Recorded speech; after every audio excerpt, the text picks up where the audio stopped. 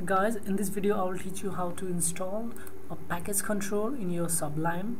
Okay first you, you need to go to view and so console or you can type control plus.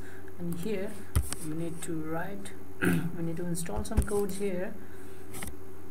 Okay from where we can get that is you can go to this site https uh, packagecontrol.io if you are confused about this uh, you can just type google and and just type sublime package control and you get this site you can click here. And what you need to do is click on here install now.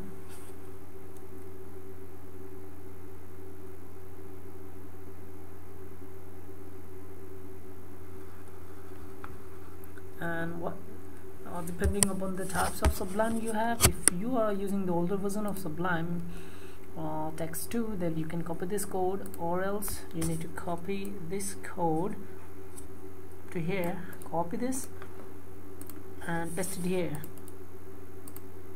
And you are done. Uh, just type enter now then our package will be installed in your Sublime and how to test if it's done or not uh, I will show you. Just uh, let me remove this for now.